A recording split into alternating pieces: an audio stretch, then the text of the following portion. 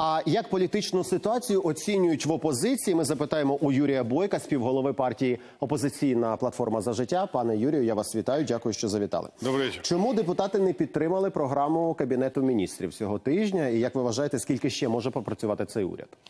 Вообще, на самом деле, когда правительство работает уже 100 дней, то пора отчитываться о том, что они делали, а не представлять какую-то программу вообще.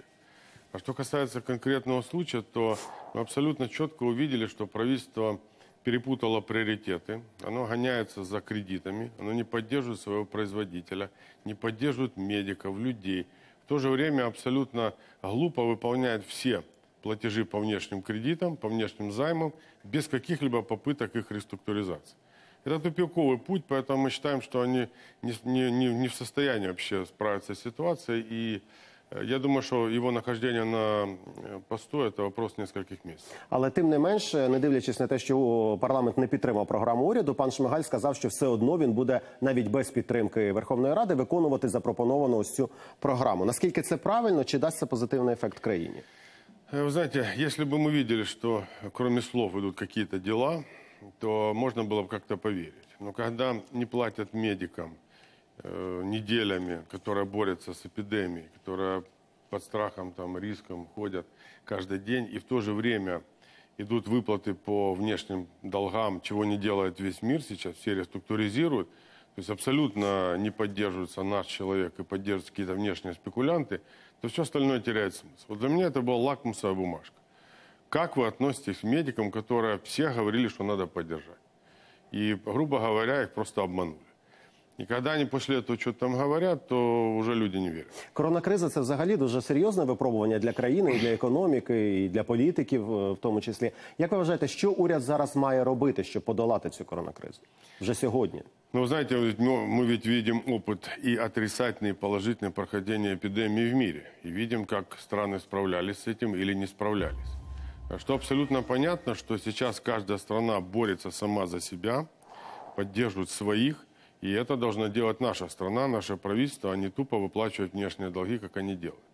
И когда 100 миллиардов закладывают на поддержку всех, безработных, промышленности, там, потерявших э, бизнес людей, там, медиков, и при этом 144 миллиарда на выплату внешних долгов из бюджета, то мы считаем, что это абсолютно неправильно.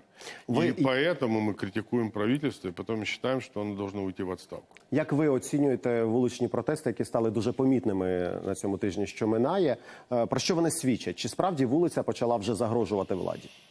Я думаю, что это очень опасная тенденция, потому что сегодняшняя власть, она не способна справиться, она очень боится уличных протестов, не очень ре- рефлексирует.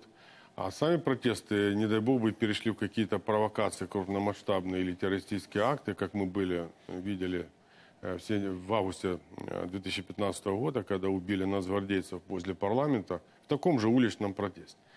То есть на самом деле, что может быть катализатором очередного вот масштабного уличного процесса в условиях балашманной, бездарной власти сложно даже предугадать. Но это очень опасно, это ничего хорошего для страны не несет. Власть должна делать так, чтобы люди не выходили на улицу и цивилизованно решать их вопросы. Президент запропонував законопроект про референдум. Як його дуже зараз активно цю тему обговорюють? Е, Як ви оцінюєте цей документ і за яких умов зможете підтримати? Мы негативно к этому относимся, к тому именно проекту закона. У нас есть свой законопроект, и коренное отличие в- чего в том, что мы за то, чтобы действительно люди могли выразить волю, а не президент или ЦВК решали, допускать референдум или нет. И второй момент, это касается местных э, громад, которые тоже имеют право на проведение референдума, чего нет в президентском законе. На самом деле президентский закон, он дико забюрократизировал эту процедуру. И начало инициативной группы, и начало референдума. И очень сильно э, дал права ЦВК, которая практически может принять решение, будет референдум или нет. Это ручной референдум, и при желании президент, власть, ЦВК, кто угодно может заблокировать волеизъявление людей, что недопустимо. Зрозуміло. Міністр фінансів у Верховній Раді заявив, що місія МВФ може приїхати в Україну вже у липні цього місяця, і за позитивним сценарієм ми вже обосени можемо отримати новий транш. Е, А от є у рес- у держави ресурс, щоб відмовитись від співпраці з МВФ і цього нового траншу і забезпечувати видатки самостійно. Там на самом деле жили э, годами без МВФ. В прошлом году у нас не было кредита. Несколько лет назад, ну, я был инициатором отказа от кредита в 2010 году, когда нам выдвинули условия, оскорбляющие нашу государственность, причем на порядок меньше, чем сейчас. И то, что у нас э, перепутало правительство приоритеты и в угоду МВФ сдает национальный интерес, это еще один повод его отправить в отставку. Я считаю, что мы должны иметь национальную гордость и просто реструктуризировать внешние долги, так как делают все страны, и перейти уже к самообеспечению, и не унижая себя, вот если брать кредит там по 2%, что можно делать?